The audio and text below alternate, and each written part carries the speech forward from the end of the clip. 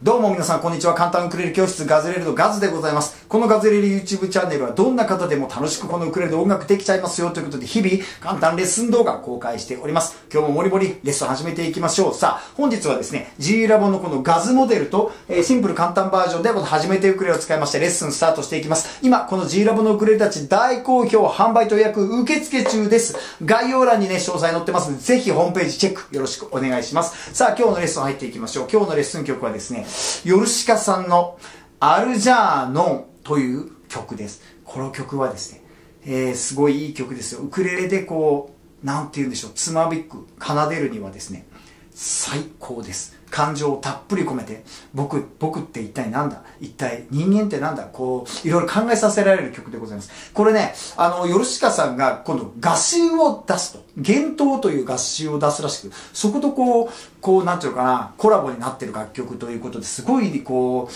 ど、なんていうかな、絵本的なというか、ちょっとすごいね、やっぱりその、崇高な感じのものをちょっと感じさせてくれるすごいいい曲です。ぜひゆっくり取り組んでいきましょう。いつものように2バージョン。最初のバージョンは初心者の方でもなるべく簡単にできるようにしてます。ゆっくりやりますよ。シンプル簡単バージョンやっていきます。歌がちょっとね、あの雰囲気出すのはなかなか聞き込みが必要だと思いますけど、これはあのコードは簡単ですからね。後半はかっこいいバージョン。かっこいいバージョンはやっぱりそのコードのうねりとか、リズムのね、この強弱、抑揚、この辺も深めていったかっこいいバージョンになってます。2バージョン。ぜひとも最後までご覧になってください。さあ皆さん音楽を始めましょう。音楽って聞くのも最高だけど、やる方がもっと最高。今ご覧いただいているガズレレ YouTube だったら本当にね、あっという間にね、もりもり音楽できるようになりますからね。誰でも簡単にできるね、順番になってるね、ものすごくいい教材になってる URL を概要欄に貼っておくんで、そこで練習してやっていってください。で、基本を掴んだらですね、やっぱ自分が好きな曲でやるのがいいと思いますから、やってみたい曲スペースガズレレというような感じで YouTube で検索していただくと出てくると思います。さあ、それでは、えーレッスンの入っていきましょう。ヨルシカのアルジャーノン。まずは初心者さん向け超シンプル簡単バージョンゆっくりとやってみる。!1,2,3,4、あなたはどうして？僕に心をくれた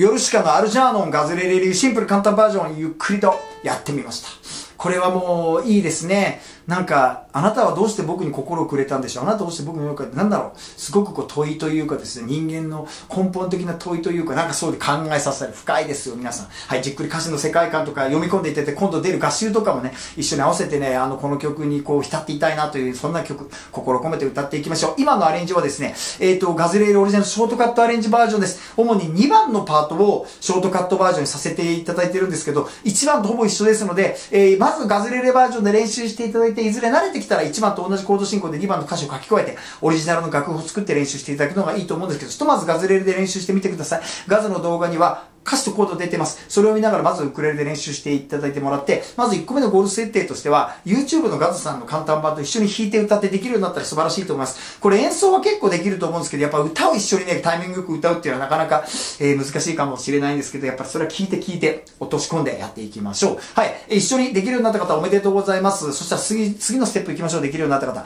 次のステップは一体何かというと、今度はガズレレ YouTube を見ずに、皆さん一人だけで歌ってリズムを生み出して音楽を生み出す。これがいいなと思うんですけど、最初初から歌詞とコードを全部丸暗記するのは難しいでしょうから、最初は楽譜練習がいいと思います。でも楽譜ってどこにあるんだろうと思うかもしれないんですけど、安心してください。今の演奏はですね、はい、このガズさんの手書きのノート35冊目に突入しております。はい、こちらに書いたこのですね、えー、ガズさんの手書きノートを見て今、ガズを演奏していったんですね。今日2枚にちょっと渡ってますけど、もうちょっとしたら画面にこんな風に大きく映して、みんなもこんな風に書いてみたらいいよっていう風にシェアしようと思うんですけど、今、大変便利なサービス、これが始まってます。ガズクラブです。このガズクラブっていうのは一体何かというと、毎月660円のクラブ活動費を頂戴しまして、今日取り上げたアルジャーノンを含むガズが今まで手書きで書きまくってきたもう膨大なノート楽譜のストックの中から、毎月5曲お選びいただいて、えー、この曲いいな、この曲やってみたいみたいな感じで選んでいただいて、即座にお手元にデジタルデータとしてダウンロードして、すぐに練習入っていけるよという画期的なサービスなんです。そしてですね、このガズクラブは楽譜のダウンロード以外にもですね、いろんなコンテンツがあります。えー、毎月2回、全世界中のこのガズクラブメンバーが集まって、ワイワイセッション課題曲を決めて、もうめっちゃ盛り上がります。えー、大セッション大会ガズオンを開催しております。毎月2回ですよ。はい。それにね、えっ、ー、と、ガズクラブメンバーの方だけが使えるアプリがあったりとかしてですね、えー、みんなの演奏動画アップロードできる非公開のページがあったりとか、なかなか盛り上がったです。メンバーのコラムも、えっ、ー、と、スタッフ、ガズレレ G ラボスタッフのコラムなんかも楽しめるで、そんなものは盛りだくさんです。それちょっとね、このガズクラブとはまた違うんですけど、このガズレレ大学っていうのもやってるんですよ。こっちは大学ですからお勉強ですよ。えー、毎週2回によるライブ配信。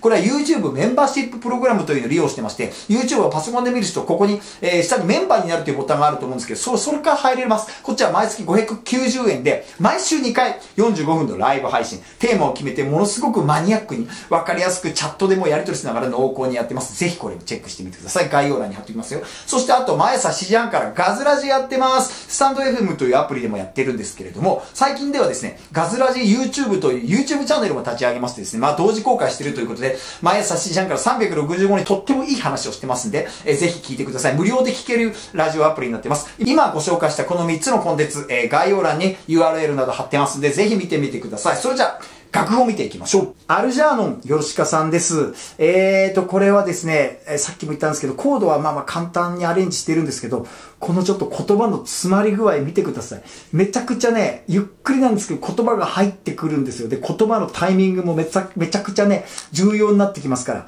はい。しっかり、えー、聞き込んでやっていってください。まずこんな風に大きく映しとくので、ここら辺まで、1回目のサビまでいけるかな。こんな感じで映しときます。すごく今日はね、字が細かくなっちゃってます。つまり、そんだけ言葉が多いということですね。で、今紹介させてもらったガズクラブで、この楽譜をデジタルデータでダウンロードしていただくのも今日もめちゃくちゃ有効ですね。これガズのノートの特徴なんですけど、この V とかこの言葉の部分に点があるじゃないですか。これがリズムがわかるようになってるんですね。こういうちょっとね、あの、早い、あの、言葉がいっぱい詰まってる曲ってかなりガズのノートはね、手役立つと思います。ちょっとやってみると、せーの、スリー、フォー、うん、あなたはどうして、こんな感じですね。うん、あ、これ休符です。どうしての間にこの V が入ってるから。うん、あなたはどうして、僕に、くの上に点があるでしょ。僕に心をくれたんでしょう。はい。たが真ん中の3拍目ってことですね。この点でですね、リズムが分かるようになっているのと、歌詞カードには出てない、この伸ばすところとか、この空間とかね、こういうのもすごく計算されてますんで、ガズのノートはすごくね、分かりやすいと思います。はい。えー、ガズクラブでダウンロードしてもらうのもいいし、えー、これをゆっくり自分のペースでメモを書いて、えー、やってもらうのもいいと思います。写しておきます。一時停止で書いていってください。で、いつもの言ってることなんですけど、この下に書いてあるコードは、かっこいいバージョンで出てくるコード。これ矢印ですけど、これシンコペーションって言ってリズムがリズム空港秒みたいな後で解説しますけど、上の段は簡単版、下の段はかっこいい版です。あ、で、ここ注目。この F と G7 は、1個ずつ引く2拍ですからね。ここだけちょっとね、キーポイントになります。はい、OK。じゃあこうやって映しておいてください。一時停止ね。はい、そしたらここ後半行きましょう。ここからね、ブリッジパート。ここもね、言葉が見てください。もうギンギンに詰まってますからね。ゆっくりなんだけど言葉が多い。で、この言葉のリズム、このガズのね、この上のね、点でね、ちょっと測りながらやってもらうといいと思うんですけど、ブリッジパートと、このちょっとおとなしくなるサビのとこですね。サビのおとなしくなるところ。ここら辺もコードがね、かっこいいバージョでいろいろ移り変わってきますね。はい、後で解説していきます。はい。そしたらこっちクルリンパになって、最後のラストのね、サビの応酬になっていきます。最後ちょっとね、ここら辺のアレンジがかかってきますけど、かっこいい展開ですよね。で、ここまでやって、ここ、ちょっとね、ブロック数が5個になってますけど、これエンディングで4ブロックですね。最後の、えー、やって終わりました。これがガズレレアレンジになっております。じゃあ出てくるコードを見ていきましょう。ちょっとね、この赤く囲ってるやつはかっこいいバージョンなんで、ひとまず隠しております。今日はね、コードは7個。この名、なんかこの響き7個のコードなんだって思っちゃいますよね。素晴らしい。言っていきます。C、a マイナー F、d マイナー G7、E7、e マイナー7。もうまさにこれはガズレレでは超典型的入門コードのグループのもうね、いいやつですよ。これはこれです。ガズレレ必須コードのグループのメンバーです。必須コードって何かっていうと、このちっちゃいクレレで音楽始めた人に一番最初に覚えてもらいたい入門コード10個のグループ。10個もあんのかと思うかもしれないんだけど、入門コードだから1個ずつ見たら超簡単。だけどバンと1個ね、初心者の人が10個いっぺんに覚えようと思ったら頭ごちゃごちゃになりますから、押さえる場所と名前がごちゃごちゃになる。そこで私が皆さんの頭にスイスイ覚えられちゃうめちゃくちゃわかりやすくて楽しい動画、概要欄に貼っておきます。さあ、それではね、かっこいいバージョンの解説に入っていく、その前にね、やっぱりこの曲ってゆったりしたバラードなんで、あの、歌もゆったりしてるかと思いきや、あの、見てもらったらわかるように言葉がめちゃくちゃこう詰まってるんですね、実は。でも、それを感じさせない緩やかに歌う。感じ。優しく包み込むように歌う感じ。その辺がこれ逆テーマかな。リズムもガチャガチャしないようにね、言葉もね、なんかガチャガチャガチャガチャもうなんかななるんじゃなくて、流れるようにやる。これがいいと思いますね。あのー、歌詞の中にも雲を流す風を飲み込んでってあるけど、そういうなんか流れる感じがいいと思います。はい。えー、歌をしっかり、えー、聞き込んで、じゃあかっこいいバージョンの解説に入っていきましょう。かっこいいバージョンでは1個だけコード追加。これも簡単コードです。G7 サス4です。えー、どこを押さえるかというと、ここと、ここ G7 を押さえて小指1個足すだけですね。つまりはね。こことこことここです。これはだから簡単だと思います。はい。これはね、かっこいいんです。1回目のサビの後のとこでちょっとね、演出として出てくるんですけどね、今日はなかなかかっこいい響きを出してくれます。じゃあ出てくるリズムなんですけど、今日出てくるリズムはこの2個。ほい。16ビートの茶とアルペジオでございます。この2個の弾き方で、えー、なんていうのかな、エモーショナルに。いきたいと思います。今映ってる弾き方のリズム解説は概要欄に貼ってます。ウクレレでできるリズムのいろいろというところのホームページの1枚に、それぞれの濃厚解説レッスン動画があるんで、ぜひ見ていてください。で、この曲、いつもなんですけど、この16ビートのチャっていうのはですね、すごくやっぱり、なんて言うんだろうなバラードでゆったりやる方が難しいんですね。で、16ビートのチャがうまくできる方法っていうこ、この動画があいつも紹介してるんですけど、これもね、今やったリズムのいろいろのところに入ってますんで、7個のね、あの、裏技みたいなのをちょっとやってもらうといいかなと思うんですけど、はい。じゃあちょっと順番に見ていきましょう。えっ、ー、と、曲自体はシンプルなんですね。で、ワンブロックにコード4つ出てくるよっていうところが変化なんですけど、やっぱアルペジオ、このつまびく感じ。あの、アルペジオでもバキバキ弾かない、優しく弾くのがいいと思います。まず最初なんですけど、ちょっとやってみると、あなたはど、次行きますよ？僕に目を描いたんだ。こんな感じですね。空よりを、次もワンブロック4つ。もう流す風を飲む。こんな風に流れていくのがいいと思います。えっ、ー、と、このワンブロック4つは、こういう感じですね、アルペジオとしては。タントン、タントン、タントン、パンポン。はい。ちょっと参考にしてみてください。そして、えー、A メロの一番最後の裸足のままでのところは、アルペジオで弾きながらのこの矢印マーク、シンコペーションマーク。ちょっとこの楽譜見てもらってくだもらうと、裸足のまま、a マイナーと F、F の前と G7 サス4の前についてます。ちょっとここやってみますと、えー、 one、two、three、four、裸足のままってここもタアルペジオでつまびく優しく2ブロック分 G7 を弾口癖のサスフォーを弾く。ここがねめちゃくちゃクールなとこなんですよ。ちょっと優しくね本当に力に。もう一回言ってみますよ。えー、あでシンコペーション。分かった。はたしのままで。のとでで。同じタイミングです。言葉のね。ここでシンコペーションリズムが前にズコンと食い込んでますからね。もう一回やってみましょう。せーの。3はだしのままで。優しくアルペジオもうワンブロック。でこっからサビに行きます。あなたはゆっくりと。はい。ここで16ビートのちゃでっかいスケールです。あなたはゆっくりと変わっていく。ワンブロック4つ。手も小さく。とつってバンバンつってバン次はちょっとコード進行が変わってますはい感じゆったりこのどっしりしてこの深い感じの16ビートのリズムがこれがねかっこいいんですけど難しいんですよね。さっきあの紹介したあのいろんな7個の法則とかそういうのを見てねこのどっしり感ゆったり感まろやか感が出せるのがすごく大事かなというふうに思います。あの言葉のタイミングがですね、すごい難しいんでね、聞き込んでね、ガズの手書きノートにめちゃくちゃヒントがあると思いますからね。はい。ブリッジパートの、いつかとても追いつけない人に出会うのだろう。これもね、一個言葉が間違えるとリズムにはまらないんです。この辺はね、かなりやってみたらわかると思います。あとはですね、このアルペジオの弾くときに、このサビで16ビートのチャットアルペジオの強弱がやっぱりすごくね、大事になるかなというふうに今日は思いますね。なんでね、あのもうこれでぶっちゃけ解説終わり的なところもあるんですけど、サビのところでちょっとワンブロックコード4つでちょっと変化があるんでね、えー、ゆっくりと走っていく。サビに1の後半行きましょうか。ゆっくりと走っていく。長いメロの次です。先も恐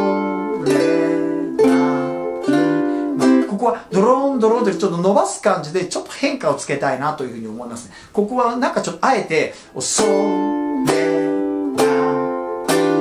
いここ言葉と完全にリンクしてるんで、このシンクロのところはちょっとあんまり16ビートの感じが出ない方がかっこいいかな。こうぶつ切りというか、ダンダン、4つ引きみたいな感じの方が雰囲気が出るかなと。そこら辺が、えー、キーポイントかな思います。そして、えっ、ー、と、一回ブリッジパートとても追いつけない人に出会うのだろうかのところの後の、えー、すっごい優しくなる、またサビのところ、アルペジオに戻るんですけど、そこの一番最後の方もですね、今のちょっと出てくるんですけど、またここもムードを変えたいですよね。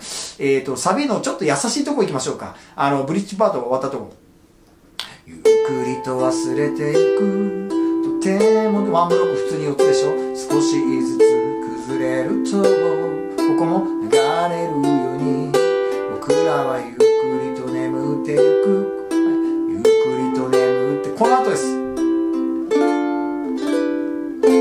僕らはゆっこの4つのこと、これも4つ引きっぽく d マイナー、e マイナー7、F で最後の3にドーンと入っていくみたいな、この抑揚をつけていく感じがいいかなと思ったりしております。はい。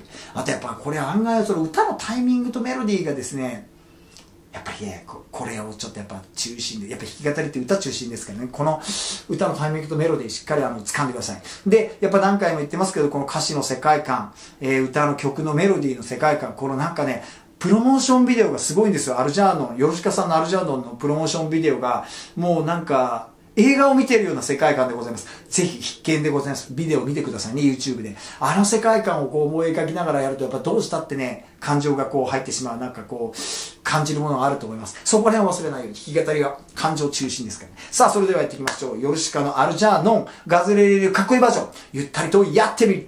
ワン、ツー、スリー、フォー。あなたはどうし